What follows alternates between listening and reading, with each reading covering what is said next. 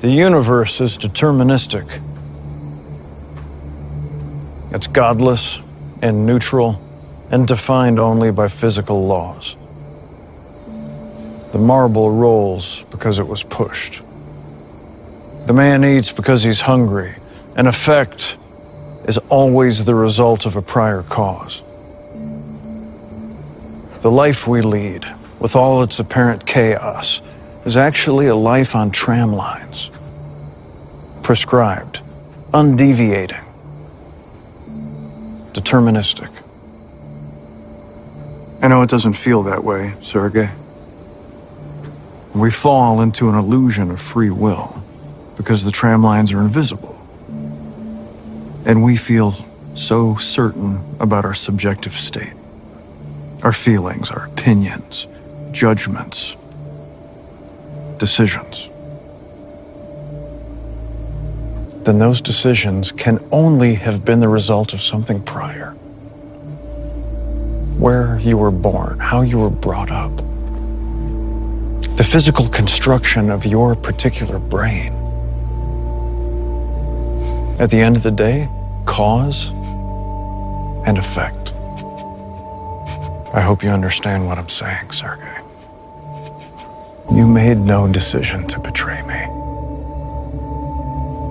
You could only have done what you did. Happy hair season. Welcome to the desert of the real. Was I fated to say that? I was, according to the clip you just heard. Spoken by Forrest, the villain technocrat in the series Devs. Brilliantly played by Nick Offerman. The show is indeed about determinism, and it's preggers with Gnostic themes, my beloved true seekers. And surprising few, even if you had a choice, our topic will cover free will and other linked subjects. From the view of those ancients who seem larger and larger as our world gets smaller and smaller, partly because our leaders and exemplars have revealed their small nutsacks. I want peace on earth and goodwill toward men. We are the United States government. We don't do that sort of thing. It's bad in 2020. However, the truth is that it's always been bad, but this year the Archons really decided to put all their cards on the table. And now we do the same as eternal champions, Johnny Cash Bodhisattvas, and modern day Tom Sawyers are mine not for rent to any god or government. We put all our cards on the table. And because we ride with Hermes, the god of thieves, and Sophia, the goddess of smugglers, we got so many dangerous cards up our sleeves.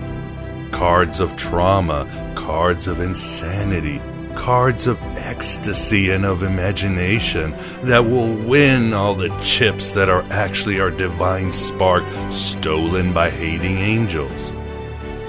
We were made for this game of Saturn. Beneath this mask, there is more than flesh.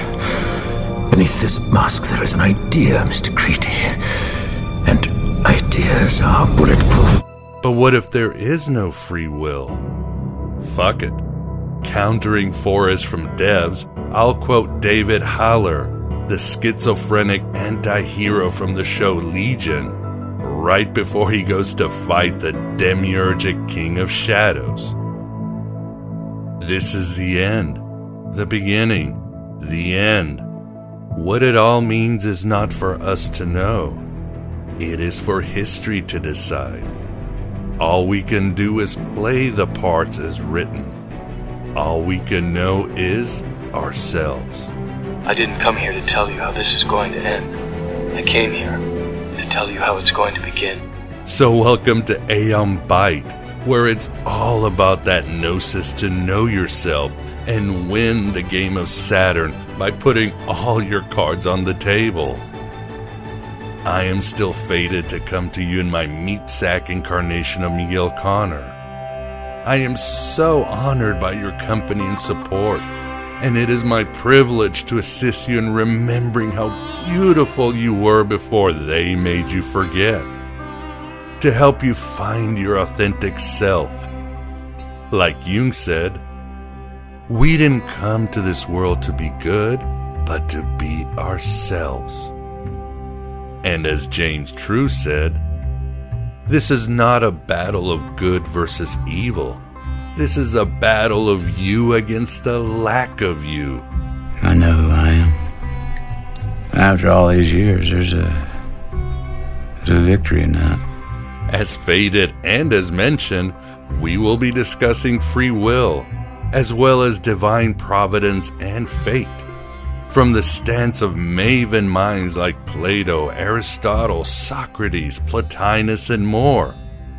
From the stance of the Stoics, all the way to, yes, the Gnostics. Do you believe in fate, Neil? No, Why not? because I don't like the idea that I'm not in control of my life. For this kismet, we are joined again at the virtual Alexandria by Dylan Burns, who will be discussing his new book, Did God Care? Providence, Dualism, and Will in Later Greek and Early Christian Philosophy. Beyond a cool cat and brilliant scholar, Dylan is undoubtedly one of the chief authorities today when it comes to Gnostic studies. I've hung out with him in meat space, so trust me. Dylan is the kind of mind and heart you want around to understand the mysteries of Gnosticism and any ancient philosophy or mysticism. venerable tradition of sorcerers, shamans, and other visionaries who have developed and perfected the art of dream travel, the so-called lucid dream state, whereby consciously controlling your dreams, you're able to discover things beyond your capacity to apprehend in your awake state. And you were destined to do this, because the truth is that there is little free will. Beyond the vagaries of the archons and their rulership of the stars, our programming and the propagandizing from society, our cultural background, parental encrypting, genetic coding, heritage, and so much else makes us into no better than wind up toys or drooling replicants. Humans fancy that there's something special about the way we perceive the world, and yet we live in loops as tight and as closed as the hosts do. Seldom questioning our choices, content for the most part to be told what to do next. But there is a small shard of infinity within us that downloads a higher infinity, and that is our authentic self. Remember the quote by David Haller at the beginning? That all we can do is know ourselves? He's right. Also, remember in The Matrix that everything Neo did was telegraphed in the simulation. All he could do was understand, have that gnosis, why he made his choices. That's what liberated him and made him win the card game of Saturn in the end. That's what each one of us can do. Bringing in Jung again, he did say, until you make the unconscious conscious, it will direct your life and you will call it fate. You already know if I'm going to take it, Wouldn't be much of an oracle if I didn't, but if you already know, how can I make a choice? because you didn't come here to make the choice. You've already made it. You're here to try to understand why you made it. It's that simple, and it's essential information the Gnostics knew as well as other followers of Hermes and Sophia. Dylan will expand much more, but let me quote Stephen Davis on Gnostic determinism from his book, The Secret Book of John, the Gnostic Gospel. To imprison humanity, the demiurge creates fate the arrangement of present and future that most people of the ancient world believe govern their lives. Through astrology and other occult systems, people try to know and even manipulate their fate. But as a general rule, everyone and everything was under the sway of fate. Even the gods, the angels, and the demons were subject to it. As the body imprisons the soul, fate imprisons the will. You don't understand by now. You can't stop fate. No one can. It's like a living thing. It swallows us all into darkness. If there is a god of fate, Yaldabaoth is that god.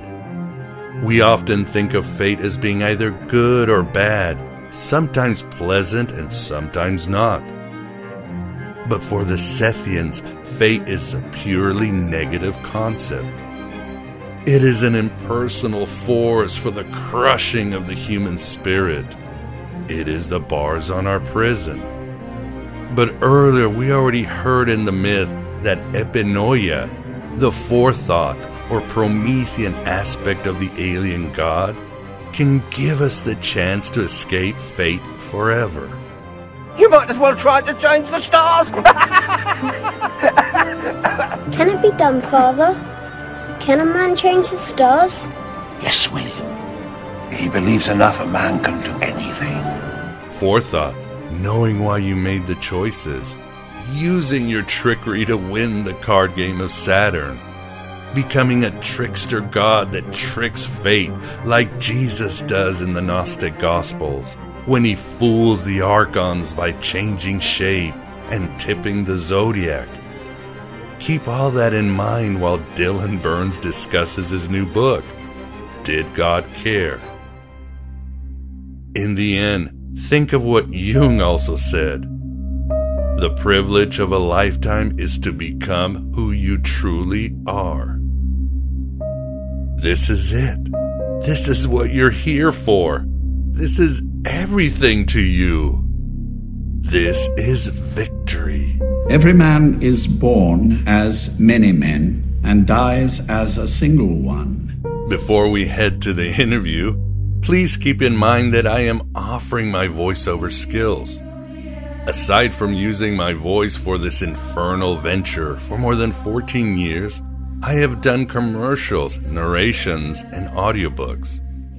I've got the skill, the professional home studio, and if it's anything esoteric or alternative or just hip, man, I've got the passion to bring soul into your venture and express your brand like it, well, like it was fated to be. And I'll work for you in any Maimon capacity.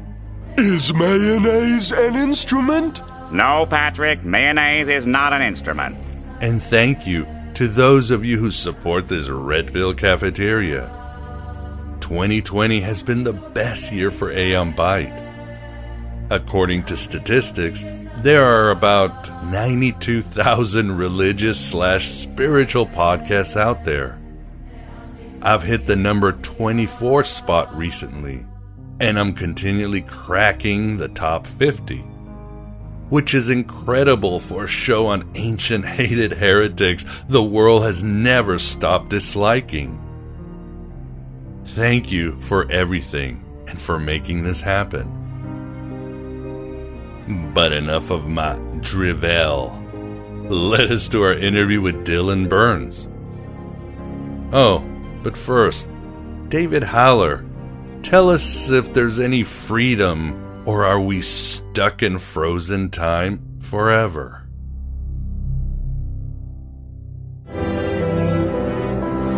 Lessons in Time Travel, Chapter 0. Who we were does not dictate who we will be. But often, it's a pretty good indication. Time travel does not give one the opportunity to change oneself, but rather to eradicate oneself and allow something else to form in the wake of what once was.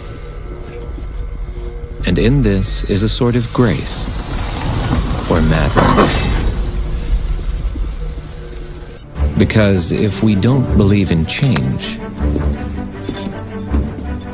then we don't believe in time. This is the Aeon Byte interview, and with us we definitely have the pleasure of having back Dylan Burns to discuss his new book, Did God Care? Studies in Platonism, Neoplatonism, and the Platonic Tradition. Dylan, thanks for coming on Aeon Byte. Thanks so much for having me. It's a pleasure to be here. Pleasure to have you and uh, really enjoyed our last interview. And as we spoke, I think the audience will love this interview because this is red meat for them. And for many reasons, I really enjoyed your book. But before we get started with your work, I wanted to talk to you about John Turner, who passed away late last year, and he was one of the original translators of the Nag Hammadi. He was also a past guest and I met him at the Gnostic Counterculture Conference at Rice University. Met you there, and uh, we all had the pleasure of hanging out. I corresponded with him throughout the years, and of course his work has been invaluable in Gnostic, Christian, and Neoplatonic studies. I talked about his passing last year, and uh, I spoke to him right before he left us and I can't speak enough about him, but perhaps uh, you would like to speak a bit about John Turner. Um, sure. I mean, I suppose you, you've already talked to your listeners about his, his contributions to the study of the Nag Hammadi library and the relationship between Gnosticism and Neoplatonism, right?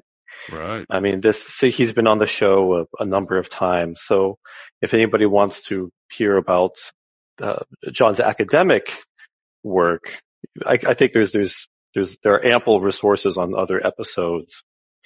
But I thought maybe a, a side of John that I could share with you that hasn't been on your show before is what it was like to work with John um, as a teacher, what John was like as a teacher, and what John was like as a mentor. Because I think outside of the immediate scholarly circles he was working with, it's not so widely known how important John was in cultivating younger scholars and in training younger scholars. And I tell you, John's students are everywhere. Okay. Uh, some of them became big names at Harvard and Oxford. I'll put it like this. A few years ago, I was at a wedding in rural Pennsylvania and the mother of the bride was a former student of John Turner's. Wow. Just by coincidence. He stopped me and said, you're the guy who reads Coptic, right? Well, I learned some of that with John Turner back when I was a graduate student in Montana. I mean, John had a lot of students who went on, this guy became an English professor, incidentally, but they, they went on to do all kinds of things. And so he was, he was really a, a beloved teacher that people were still talking about years later. And Many of his students uh, became very successful, like Karen King at Harvard. Um, John was also very important for mentoring younger scholars. At, you may have noticed at the conferences, at the conference that you went to, Gnostic Countercultures, he was always talking to people he didn't know so well and to younger scholars. He was asking them about their work he was trying to learn about them from, from them about new work and new developments in the field. He was trying to help them make connections. He was trying to raise people up. And he did this tirelessly from the first time I met him in 2009. He was surrounded by graduate students, all of whom he was cultivating. And he, he didn't get paid to do this. You know, uh, he was a professor, but he didn't have a, a fund to go to a conference and take out a bunch of graduate students and talk to them. He did this because he believed it was really important and he knew it was one of the most important things you can do for a field, namely to um, train and educate the younger people to whom you will eventually hand it in the future, you know? So he, he did an incredible amount of informal mentoring of younger scholars, myself included. And you can encapsulate that in a Coptic summer camp that he and his wife Elizabeth used to host at their home in Nebraska. For years, if you were uh, if you if you if you were connected in Coptic circles, you could get invited to Coptic summer camp, where you would fly to Lincoln and spend three weeks reading with John and other students of Coptic in John's kitchen. Wow. And then everybody would make something to eat and go for beers and talk about Coptic afterwards. it's pretty cool, right? Yeah. So he he had his, his his mind was open, but so was his door. Uh, he had terrific generosity of spirit, and for this reason, he's he's beloved amongst uh, so many scholars of of various generations. Uh, there's there really was nobody like him, and he is sorely missed. So it's very strange to me to not be in contact with him now. Oh, agreed. And he was not your typical academic or didn't fall into the typical trope of a professor. He was a smoker. He rode a bike. Uh, I remember him telling me, uh, he was telling me about a trip to Cairo to look at some ancient texts. And he told me that the highlight for him was sitting in a bazaar, having a coffee and smoking some questionable substance that took him to some wonderful places. So he was a, a unique pioneering individual. He, he definitely lived it. he definitely lived it. You know, he was a, a student of Platonism, and so he, he understood the philosophy that sees the soul and the mind as separate from the body. You know, the message is you are not your body, right? Right. The part of you that's thinking, the, the real you, that's not this body that you're wearing. That's just a shell. John understood thinking that way, but as long as he was in this body, well, he ran with it. it was his playground. it was it was his playground, and he loved it. Uh, but uh, I, I, don't want to make him out to be a, a decadent only. He was also an athlete. Um, he was on the swim team and the football team in his youth, and he and he was interested not only in the so-called human sciences, the humanities, but also the natural sciences. He was good with numbers, uh, and I believe at his the, at the boarding school where he went to high school, he had a chemistry set where he managed to blow up his room. oh no! Wow.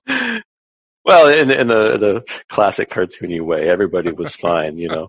But but the the point is, he he did all kinds of things, and uh, this this extended to the arts as well. He he loved to sing in the choir, and uh, as you your listeners know, he had a wonderful sonorous voice, which you could listen to all day. And this was also a voice he used to sing. That's wonderful. And yeah, an, an incredible mind, uh, a unique individual. And we must keep remembering people like him, people who have passed to keep them alive and uh, always, uh, well, never forget John Turner's contribution to Gnostic studies, uh, the Nag Hammadi library itself, uh, and uh, everything that he did was just uh, invaluable, you would say. No question. He, he was a, an amazing scholar to talk about his his contributions on the on the research level, you know, he was part of the team that first translated the Coptic Gnostic sources discovered near Nag Hammadi into English. He was a, a big part of that project, contributed to the, the decipherment and initial interpretation of these texts in the, from the 60s to the 80s. And then he also helped demonstrate why these texts are important by focusing on the world of philosophy. Not, he didn't only look at these texts in the history of early Christian theology.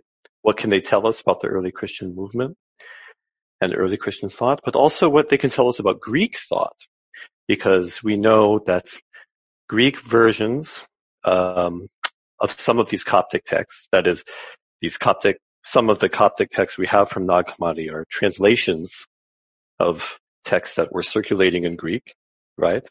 And some of these earlier Greek versions we know to have been read by philosophers. and discussed by philosophers. They were controversial. And John was really the pioneer for this problem and putting that stuff on the map and then taking it to academic philosophers today and showing them why it's important. Wonderful. Well, um, audience, please check out John Turner's work. I still lean on it when I need insight or something deep. And, uh, well, we just can't say enough, but, um, we honor John and in a way this show is dedicated to him. So, um, let's talk about your book, Dylan. Did God care? And you mentioned there was a reason you gave it such a provocative title. Um, but were you fated to write this, Dylan? Was it divine providence? You had no choice but to write this. You could look at it that way. It's the easy way out, right? But the, the, the way I, I came to this book was when I was working on my dissertation that became my first book, Apocalypse of the Alien God. I found all of this language about divine providence in these Nag Hammadi texts. And providence is kind of a, a hazy idea, right? I mean, what is it exactly? Oh, yeah. What does it really mean? And I, I, I didn't know either. So I wrote a theologian I knew and asked him, can you, can you send me a citation, a reference for a big introductory book on providence that will tell me everything I need to know about this word in the ancient world and how I can understand it. And he said, I, I don't know any such book actually. so I thought, okay, then I will write the book. Ten years later, here we are. it was in the world of ideas and you had to go get it, huh? uh, well, the the evidence was there. It turned out uh, people have written such books, but they're they're in German uh, or Italian, and they and the, these are these are wonderful books. But I, they, I also thought there should be one in English, and of course, I had my own perspective on the issues that come up around providence in later Greek and early Christian philosophy, and so I developed those. Why did God care? This is actually a way of saying in modern idiom, did God have providence? Was there providence or not? Mm because this is what providence means. Uh, providence, as we, that the English word providence comes from the Latin providere, to foresee, and this is in turn a coinage in early Roman philosophy of translating the Greek pronoia for knowing, for thinking. And this fore, this forethinking, this forethought, pronoia, is itself a normal way to talk about care or worry. When you have uh, something in mind, you know, you know you gotta go, I don't know, get the oil changed in your car. You can say you have pronoia about that. You have care about that. But very early in the history of Greek literature, the term becomes closely associated with the gods and divine care and their interaction with the world. And so one of the first things I tried to do in this project was look at, okay, providence or this Greek word pronoia, these, these words don't say anything to us in English today in the 21st century. So how can I render it, translate it in a way that accords with the idioms we use now. And to say care, actually. Did God care? Is God involved or not?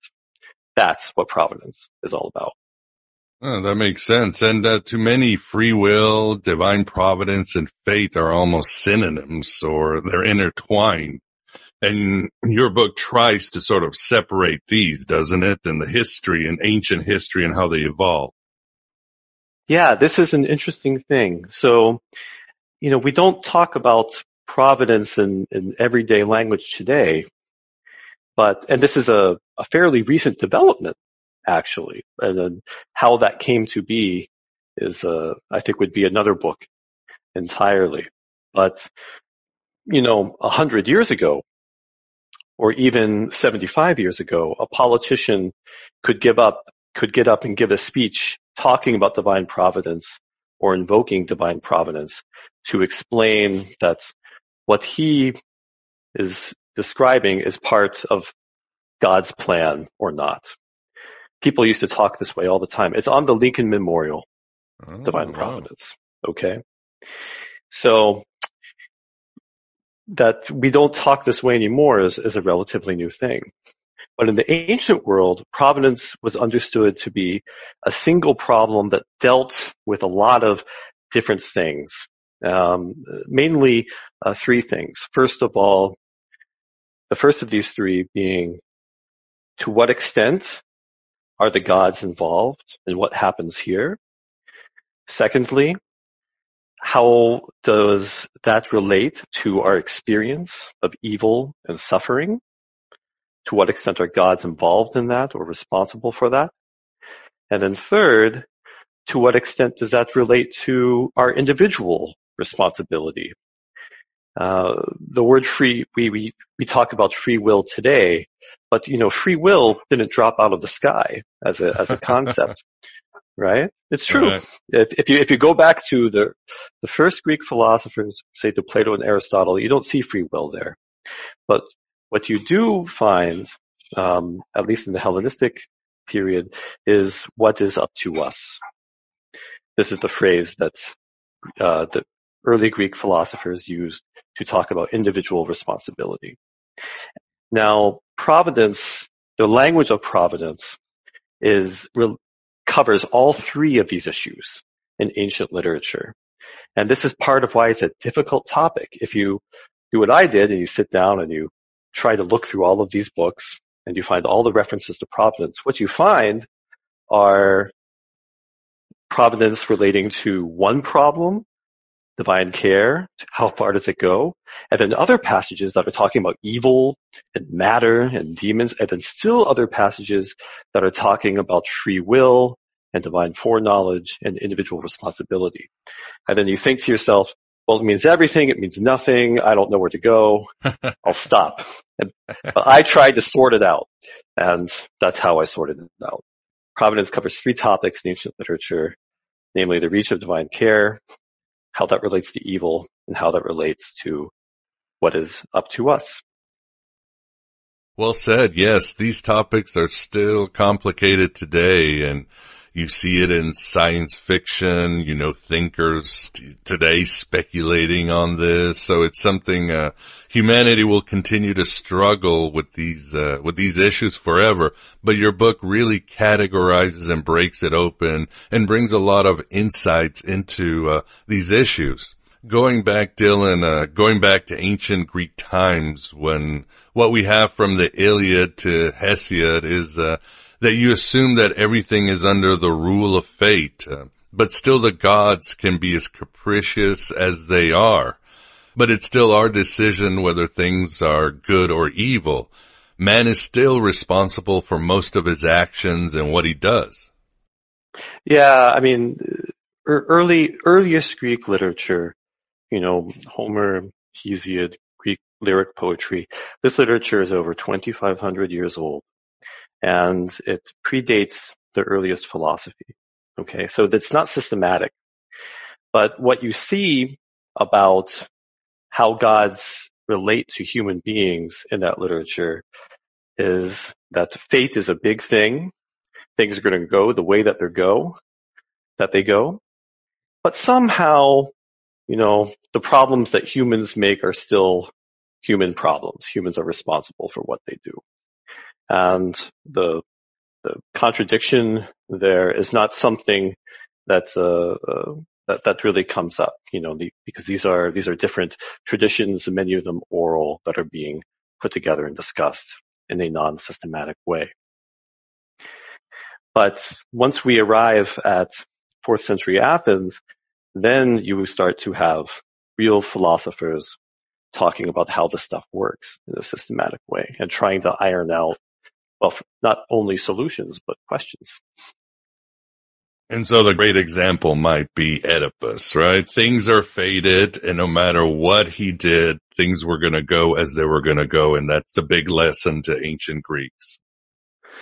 That's right. So this is a, this is really a, a classic early portrayal of Greek conceptions about fate.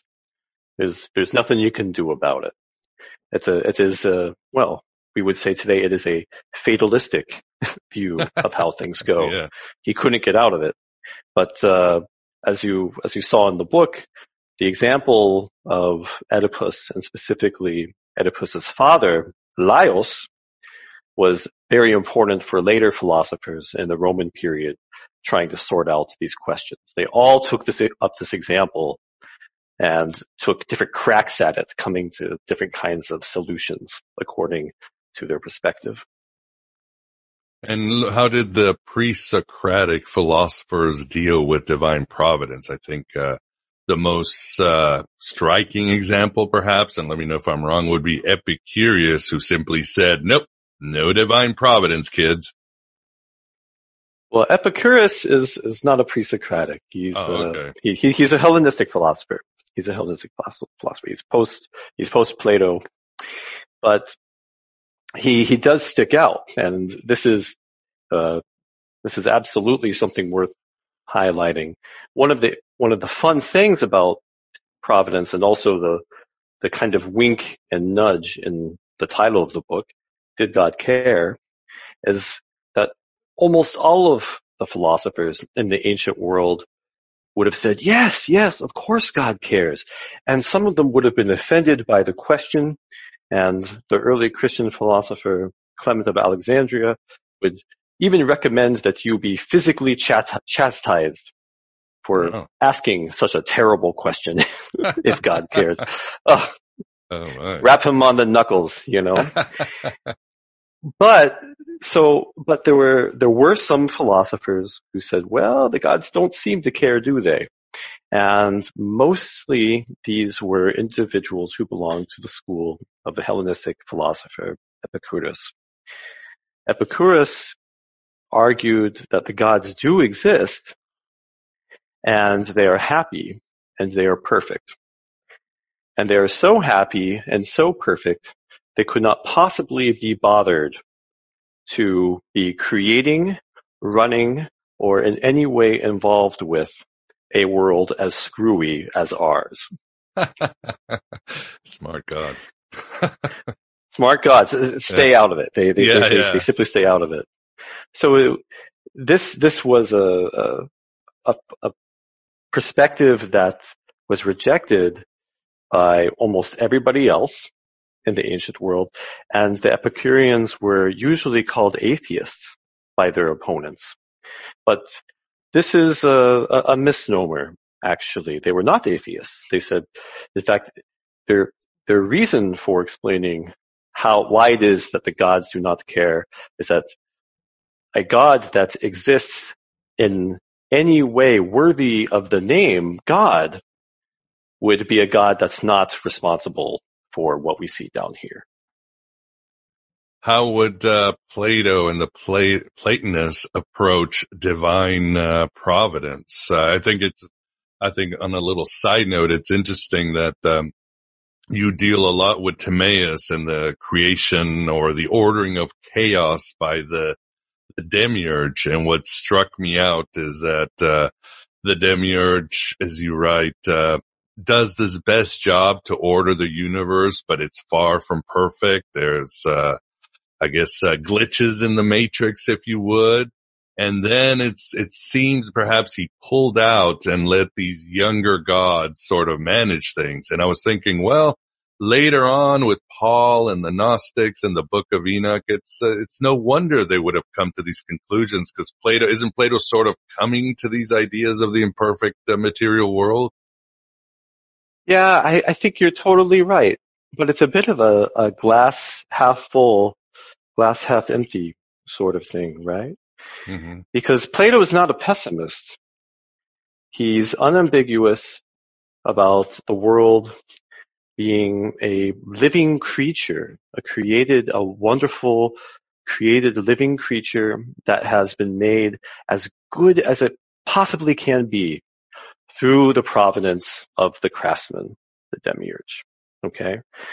This is a Timaeus 29 to 30. But we do see some problems in the world, don't we? And in the Timaeus, um, which for your readers, for, for your listeners unfamiliar with the dialogue is arguably the most important work of cosmology in the Western tradition outside the Bible, extraordinarily influential uh, all the way up to early modernity. In the Timaeus, he gives two reasons for imperfection in the world.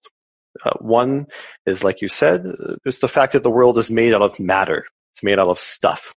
and there's a, there's a kind of chaos that comes along with the fact of this stuff being in what he calls uh, the receptacle, that is the space that matter and the world occupy. There's, and this, this is what creates, uh, well, glitches in the matrix. And then there's also the fact that the creator steps back from the creation, exactly as you say, and hands the world off to what Plato calls the young gods, who Plato clearly understands to be the gods of Greek mythology and cult, the gods of Greek, popular Greek religion, to run things. And so Plato can then step back and say, well, the world is made as good as it possibly can be, but it's not crazy of you to see imperfections around you because, well, we are made out of material. There's no world without material. That's just a fact of life. And the gods that have been put in charge of running things are not the creator himself. However, in another dialogue, the laws, Plato alludes to a theme that comes up in a number of his other dialogues, namely the Phaedrus and the Republic. And that's reincarnation. This is a third solution for the problem of evil in Plato.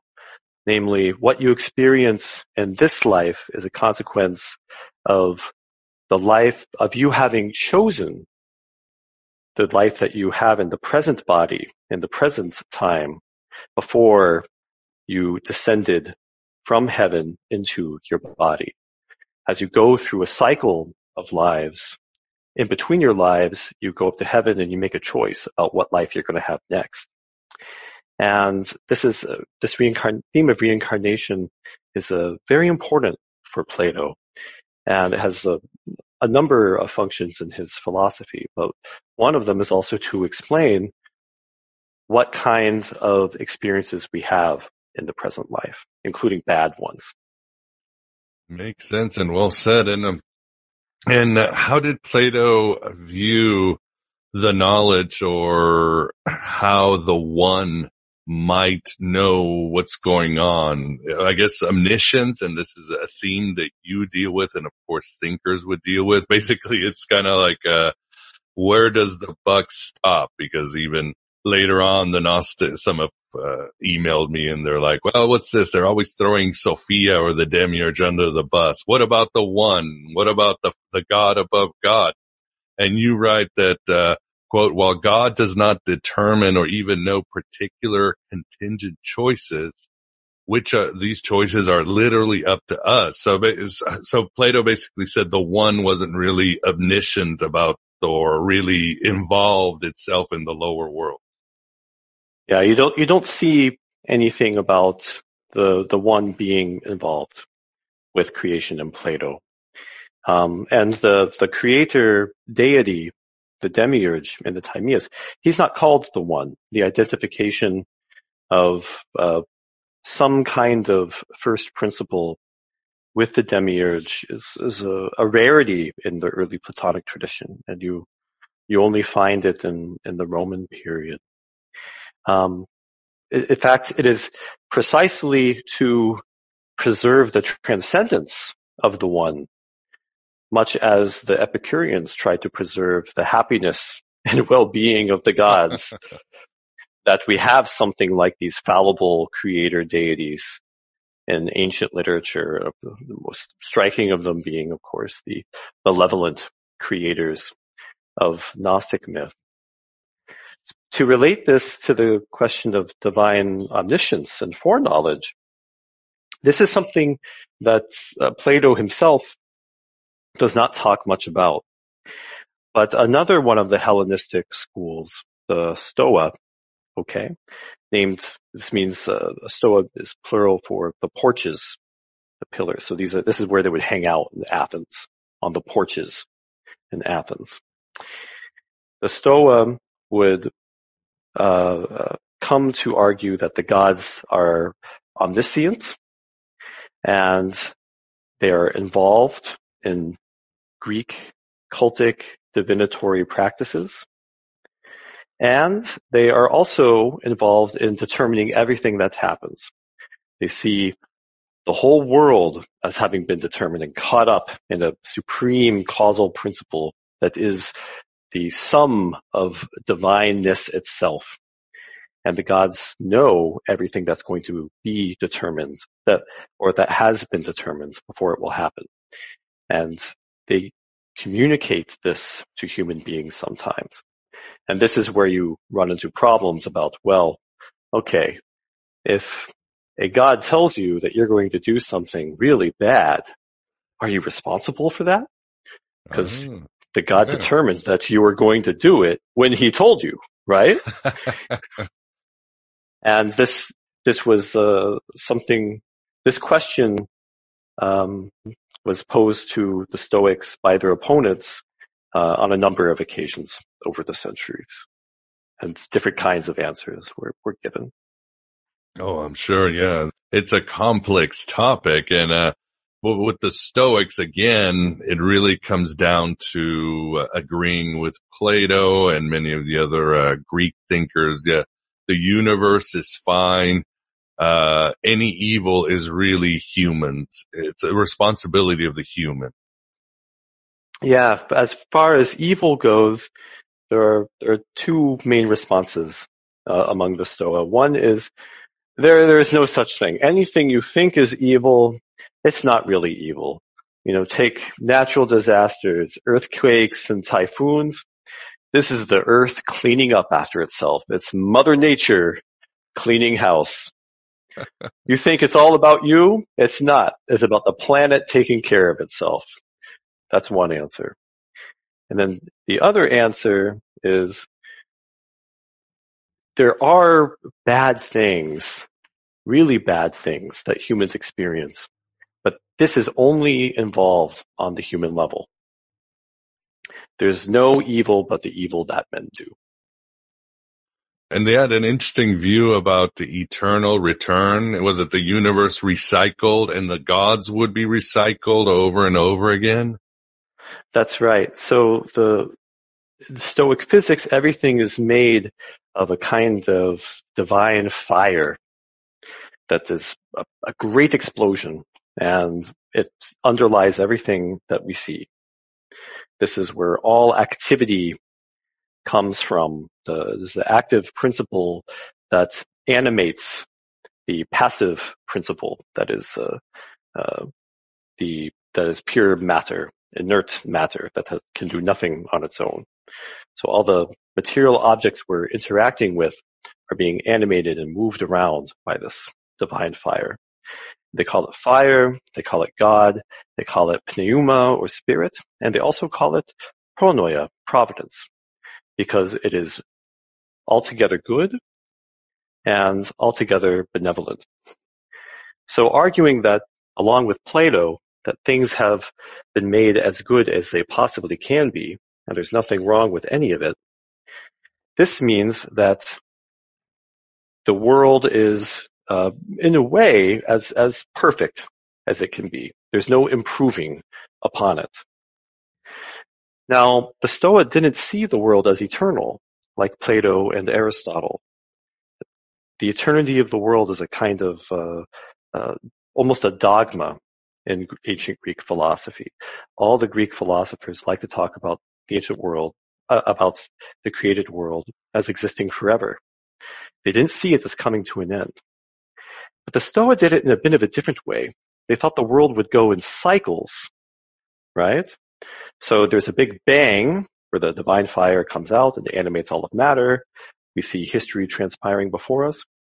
And there will be a a great conflagration, a great fire at the end where the, the world is, explodes again and is over. Then it will repeat because there's not going to be nothing at the end of the world. Rather, there will be another creation. And because the gods will do that creation as good as it possibly can be, then the perfection of the new creation can only be identical with the initial creation, right? Mm-hmm. So if the gods are only going to create a completely good world, a world that is as good as it possibly can be, then to deviate from the plan would only be to subtract from the goodness of the world. Therefore, it has to repeat over and over again. We keep getting the same worlds over and over again. Some of your listeners who like to read Nietzsche may be familiar with this idea. It's something that Nietzsche mentions and, and parodies, right? And Ouspensky too, although he doesn't parody, he buys into it. he buys into it. Oh, it's a, well, for Nietzsche, it's a, it's a horrible idea. You know, this is, this is the most ghastly thing that, that the Greeks ever came up with, right? We'll have 2020 over again and again. Yeah, right? we'll have, we'll have 2020 over again. You and I will have this conversation over again. All of it, all of it's going to be the same because this, the gods couldn't, gods in their infinite wisdom couldn't have made it any other way for us not to have 2020 or for you and I not to have had this conversation, this would subtract in some mysterious way from the great goodness that is the created world. And so the, the, the Stoa argued that you have the providential creation repeating itself over and over again.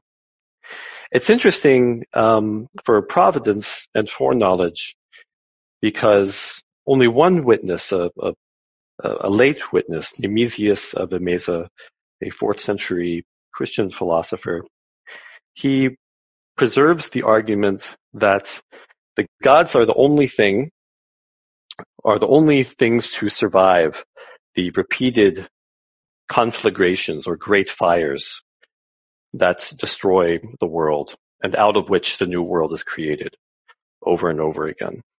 And so because the gods have experienced everything before, and the new, and the, the next round of the world will be exactly the same as the first one, they know exactly what's going to happen.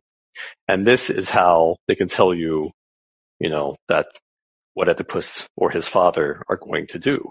Uh-huh. Because they saw the same movie an infinite number of times already. Incidentally, it does not sound to me like the gods in the Stoic perspective get to be blessed and happy as the Epicurean gods, right? They have to watch the same movie over and over again for eternity. I mean, but that, like that is Bill exactly, Murray and Groundhog Day. They're just so, like, so totally, ah. totally. They, they get an infinity of 2020s. But the Stoa are optimists about all this. Yeah. Fascinating. And, um, how did Aristotle view divine providence? You write, uh, well, you basically write, there is none, but the God should be feared. The divine naturally penetrates everything. So that was Aristotle's view, basically. Yeah, it's interesting. Uh, Aristotle does not say much about divine providence. The, uh, what, what he, when he talks about God, you know, God is a kind of a divine mind thinking itself and, and over infinitely for eternity.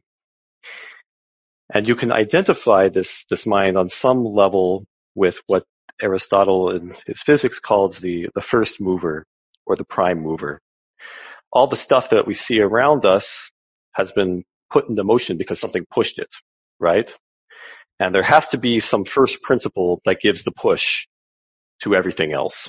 The, the chain of, of moving objects that move other moving objects that explain all the movement we see in the sensory world. This first mover, this prime mover, is the, the deity thinking itself. How does a deity that only thinks itself come to move everything? Aristotle doesn't tell us this, and this identification of the two is something you see in the later tradition. But it, it's clear that Aristotle has some kind of ident- identification, identification like this in mind. And then you see in his uh, political writings that he does not advocate getting rid of religion. Nor do writers who follow Aristotle, such as the author of a work called De Mundo on the world, who's uh, clearly posing as Aristotle and whose text was transmitted under the name of Aristotle, so we call him pseudo Aristotle. This author clearly sees the first, clearly sees the deity as omnipresent, even if he's not active and directly active in everything around us. And there are a lot of uh, analogies the author of De Mundo uses. The most memorable for us, and certainly one of the most influential analogies that we see used by this author is that of the great king of Persia. The idea is that the king of Persia has this enormous realm. He's in his palace, and it's a huge palace. And there's a whole army of courtiers and people working for him, servants, guards. And then from this palace, he has uh, generals and governors who also work for him and go out and administrate parts of the empire. This extends all the way to the borders of the empire itself. In other words, there is a kind of presence of this king or emperor insofar as you have a kind of influence as far as the empire goes, right? Even if this emperor or king is not physically present everywhere.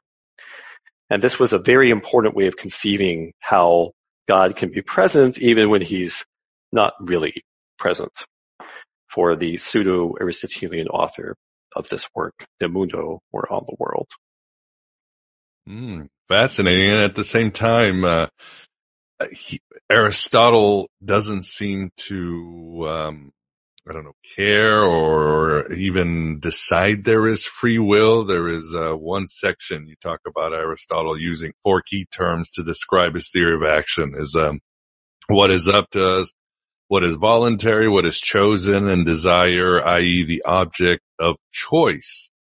But then you uh, put this really cool quote uh, that goes, uh, Will can choose to walk to the store or I can choose to walk to the store or I can fail to walk to the store. Our character decides, not our will. That's pretty nuanced in a way, isn't it?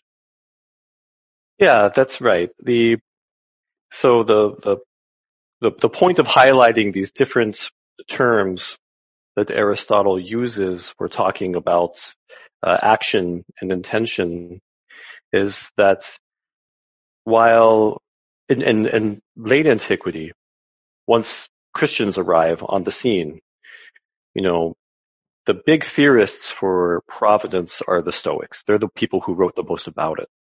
And their ideas are very congenial to early Christian ideas from the Bible about how God works. But when it comes to action and responsibility, well, the big theorist there was Aristotle. And even the Stoa, who also wrote a lot about this topic, were using the terms that Aristotle came up with and were trying to respond to him. So Aristotle really uh, set the terms of the debate for talking about action and intention. Yeah, the one of the interesting things I found from reading about Aristotle's theory of action uh, that you point out here is that you can you can choose what you're going to do, but this is these these choices don't tell us about uh, a part of you, uh, a little a little voice in your head that says, "Well, do I want this or not?" This idea of an autonomous a, a faculty that is autonomous that makes decisions. This isn't really what Aristotle is talking about. he's interested in talking about character. What makes people act the way that they do, right? So, you know, philosophers like to take mundane examples like, am I going to walk to the store or is my character going to be such that I will fail to walk to the store? And what you do when right you forget time? your mask and you have to walk yeah, yeah. back. well, that, that's, that's a, that's a good example. That's a good example. Let's, let's raise the stakes a little bit, right? Okay. Am I, so the, the Aristotle frames this question, the mask question, not as, do I choose to wear a mask or not? He frames it as, am I going to wear a mask or am I going to be the sort of person who fails to recognize that it is right to wear a mask when I go to the store and I better put the darn thing on? because for, in these early, in these early Greek philosophical discussions about character and uh, about action and responsibility, you know, the, these discussions are not simply just logical games. They were, they were interested in real stakes at play in their societies, namely, how do we educate people to do what is right and make a city where people are going to make good decisions and become good or at least effective rulers. Okay? Anybody who's reading Aristotle has got to be educated enough to be terrifically privileged and probably in a position of authority of some kind. So how do we educate this person so that they're going to be able to behave in a way that's going to benefit themselves and everyone around them? Right? So this is why Aristotle was asking these questions in the first place. And consequently, the upshot for him is, well, how do we build good character? No, that makes perfect sense. Well, we want to start getting to Christianity so we can, uh, and Judaism so we can really get into the Gnostics because I know that's something the audience really wants to cover and your book does exactly that. Uh, so Dylan, what were some of the innovations or tectonic shifts that uh, Christians and Jews brought into the conversation when they started coming up on the scene? I think I think the basic one would be uh, they thought that God could be a personal God instead of this distant uh, dude beyond the beyond the dimensions. Well, it's you're, you're right. They were they were very interested in a very personal deity, a God that's active and intervenes in history, because this is what you see in biblical literature, right? Right. You know, Sarah can't get pregnant with Abraham. God's going to make it happen. Moses comes to Pharaoh and says, let my people go. Pharaoh thinks about it for a minute and then God hardens Pharaoh's heart. He wants Pharaoh to keep the Jews in Egypt a little bit longer so he can punish the Egyptians a little bit more because God has a plan. He wants to make a point with that story, right? This was also an important passage for free, the question of free will and what kind of God is this anyways? that's, that's working with Pharaoh. It's true. It's true. Uh, Origen and the Marcionites, you know, they, they, they, Right. they debated this, this, the, the, these, these passages. So you've got an interventionist God. However, the interventionist plural deity that we see in so much biblical literature is not necessarily more personal than the gods that were known to Greek philosophers. So Stoic philosophers, of course, talked about the gods as being omnipresent, especially where virtue is involved. In Stoic philosophy, when you're being reasonable, when you're acting in concordance with reason, you are also acting in concordance with the divine plan.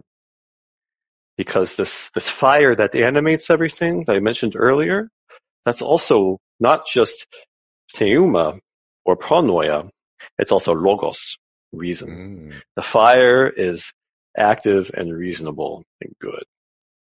And so when you act reasonably and good and wear your mask when you go to the store and not drink too many beers and do the right thing when you're in tough situations, then you are acting in concordance with the deity. The God is attending to you in some way. We see this, for example, in the thought of the second century Roman Stoic Epictetus, writing in the second century CE, as well as in writers who were dealing with uh, understanding historical events in some philosophical terms. A great example is uh, the writer Plutarch, the a later first century Platonist who also wrote a lot about Greek and Roman history and politics. Fortune smiles upon the wise. And the wise here means the virtuous. So act well and God will attend to you. Now that's pretty personal, right? Right. So the innovation that you see among early Jewish and Christian writers and transforming and, and trying to articulate the God of biblical literature in philosophical terms is not necessarily to make him more personal. You've got a personal deity already in Greek and Roman literature. But it's to identify this deity not with the gods of Greek and Rome, but with the God of Israel. They switch the identity of the deity out. It's not Zeus, it's Yahweh. And that is a very big deal. Yeah, but then that sort of lowers Yahweh, doesn't it? In a way? I mean, Zeus is still one of the younger gods. Ah, interesting. Yeah, sure. Um, well, I mean, for a Stoic, not necessarily, but for Plato, yes. Yeah, I, I would agree with that. I mean, Seneca writes about how Jupiter is uh, the, the primary cause of everything. Hmm. But he's, he's not transcendent. The Stoic God is, is, is a pantheistic deity. He's present everywhere. And the, something else you, you, something you see with, uh, the, the God of the Bible, including in these early Jewish and Christian philosophical texts, is that this deity is very powerful indeed, but also all present. And this is very much in keeping with the Stoic deity. But you're right that this brings up questions about transcendence, right? Right. And once you start to get Christian Platonists, well, then we need to separate the real deity from the one who's doing the making. Exactly. And, uh, what other innovations would you say Christians and Jews did? I mean, weren't they, did they really bring about the, the question of free will into the whole philosophical game or anything else, Dylan? That's a great example of what, uh, one of the, the bigger themes of the book. So the book doesn't just try to describe providence in later Greek philosophy, or rather in Greek philosophy from the pre-Socratics to uh, Plotinus and the Gnostics in the third century. But it also tries to describe uh, some of the innovative character of early Christian philosophy. So this emphasis on the personal deity because of the importance of biblical proof texts for early Christians, we just talked about that. And you brought up a second thing, which is free will. You know, if you, if you go and read philosophical textbooks about free will, when they begin with the history of the idea, they usually go back to St. Augustine. Okay? You know, Adam and Eve in the Garden of Eden making a decision. Maybe they'll go back further from him to Aristotle. So important for setting the terms of the debate, although Aristotle does not talk about a free will at all. He talks about character and behavior. Maybe a little bit about the Stoa, but they stop there. Now that's a big jump, okay, from Aristotle and the Stoa to Augustine. This is you know, six or seven hundred years. Oh, yeah. What happens in between, right? I'll tell you what happens. The Christians show up. We're here. The, here, here. The, the debate, the debate about human responsibility does not advance much from the Stoa until you get to early Christian philosophy. Now, some early Christian writers, like Theophilus or Irenaeus, they do mention Adam and Eve as an important way to explain that there's some kind of decision making facility that human beings have. But they don't say much about it. These passages are that's surprisingly brief, you know? You you think that they would write a whole book on it. Instead they give it a few sentences and then move on to the next subject. It's interesting. Not a lot of Adam and Eve as far as decisions and free will goes in the earliest Christian literature. But what you see in the long discussions of the question of human responsibility, which are preserved for us from the early church, the three longest, these are the fragments of Basilides, some would call him a Gnostic thinker, preserved by Clement of Alexandria. And second, the so-called Book of the Laws of the Countries, preserving either the thought of the Syrian philosopher Bardaisan of the second century, or the school organized around him. And then third, a treatise on free will written by Origen of Alexandria in the early third century. These are three, the three longest discussions of free will we have before Christian philosophy takes off in the fourth century after Constantine. Okay? And in each of these discussions, you don't see a lot about Adam and Eve in the Garden of Eden. Instead, what you see discussions about are Plato.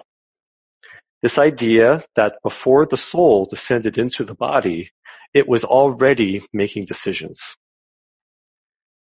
This is a very important idea for Basilides, for Bardaisan or his school in the Book of the Laws of the Countries, and for Origen. Clement is very critical of something, of Basilides' claim that martyrs that we see being tortured by the Romans are being punished for sins committed in a previous life or decisions made before they came into the present body.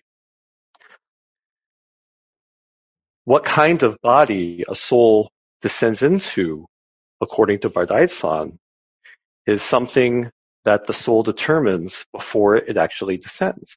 This is why people wind up in different situations in life, living in different cultures around us. And Origen, of course, was notorious for arguing that human souls are these divine intellects without bodies that cohabitated around God, contemplating God, and then fell away from Him. They go back and forth, back and forth. So, what's so the